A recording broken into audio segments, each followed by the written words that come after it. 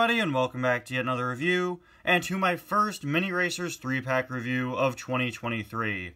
Today, we're going to be taking a look at the new Salt Flats Mini Racers 3-pack, part of the first wave of Mini Racer 3-packs from 2023.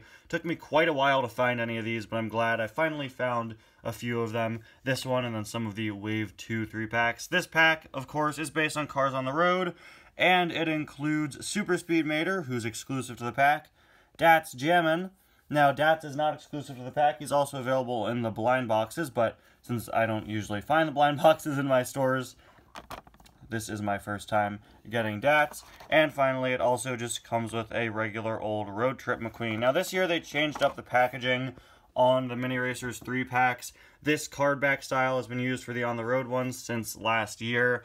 Uh, but they actually changed up the blister.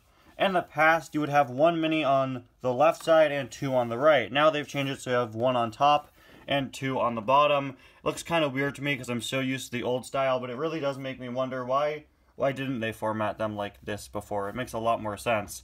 Also, the blister is a little different. It's a bit more like the form-fitting blisters that we see on the regular Cars diecasts now, complete with this weird sort of popping out part that's just kind of unnecessary extra plastic, but whatever. Moving on to the back, you can see Super Speed Mater highlighted in blue since he is a new release. This almost looks like a squished picture, which is pretty funny.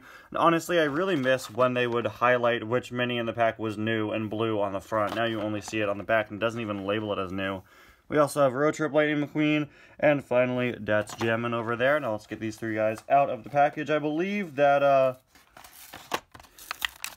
these three packs are still the only way to get yourself a non-metallic um, road trip McQueen mini racer, I believe. Oh, this is interesting. Mater has a an additional sheet of plastic holding him in. They've done this sometimes. Oh, wait, actually. Huh. They all do. Look at this. There's an additional sheet of plastic here.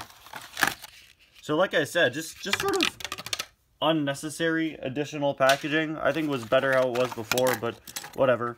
Now we got all three of these guys out of the package. We'll start off by taking a look at McQueen. Again, this is the same Road Trip McQueen that came out last year. Easily one of my favorite Mini Racer McQueens. I absolutely love that expression. I believe it's the same expression as the uh, Dirt Track Radiator Springs McQueen, which is easily my favorite McQueen Mini Racer, I think. So, yeah. At this point, I've reviewed so many pieces of generic Road Trip McQueen merchandise.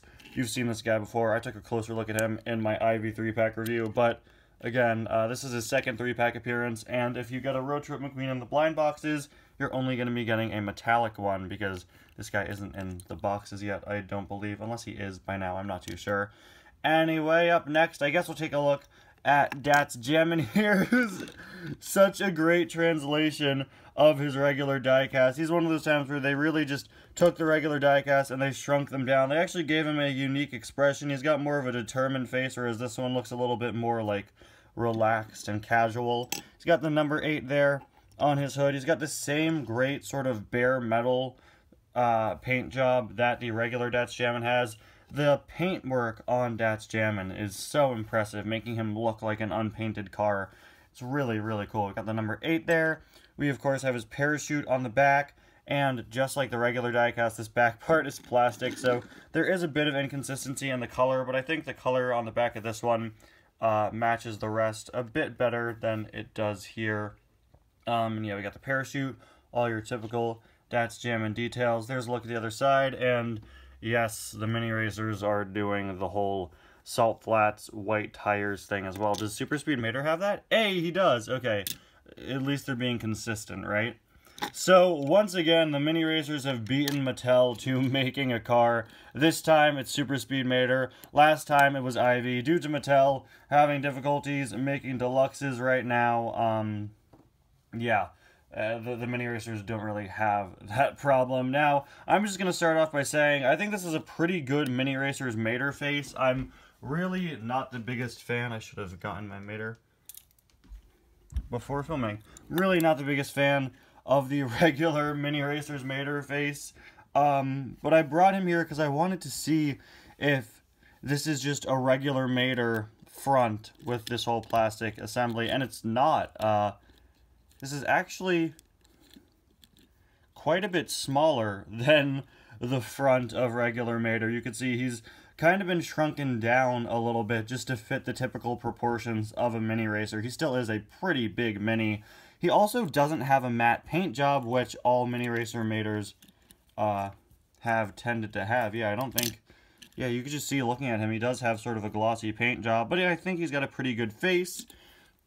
And we, of course, have the hood there and all the different super speed Mater details that you would expect. Uh, interesting with the headlight being painted a bit differently than usual. And speaking of lights, I don't know if this is a mistake or not. When Mater gets the super speed upgrades, do they fix his missing headlight? I don't think so, because they painted in all four of his headlights here. Or his roof lights, rather. That's a little strange, but okay. Moving on to the side. He's so, like, back heavy. You could easily sort of tip him over. Look at that. I wonder how much of this is metal. I think just Mater's sort of cab here is... Whoa. Whoa. Whoa. Hey, Mater. Man, stop moving. What is... This is so weird, guy. okay, that's not supposed to happen.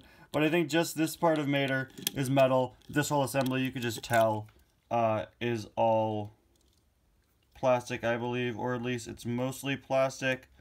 Um, actually, it looks like this top half of it is metal. It seems the top half is metal and then the bottom half of it is plastic. You can actually see the seam line there where it switches from metal to plastic. I might be wrong, but I believe that's what they did. Got some, I believe, Japanese characters on the side. Probably something uh, regarding Noriyuki. Got the number 55 and the phrase, I am land speed, which is such a funny detail. We also have the logo for Noriyuki's race team there. There's a look at the back. There is a look at the other side. And finally, there is a look at the base. A very impressive mini. Once again, the mini racers have pulled off something that you might not expect them to pull off well. Yeah, they had to shrink Mater down a little bit, but I don't need to, like, there's no point in complaining about that. I don't think it's an issue at all. I think it's a pretty impressive mini. Datz Jammin is also a pretty impressive mini. McQueen is also there. I, have reviewed him before, there's not much to say. Anyway, guys, thank you all so much for watching, and I'll see you guys next time. Let's get these three together. Bye now. Also, Mini Noriyuki when? Like, come on, that'd be a great idea.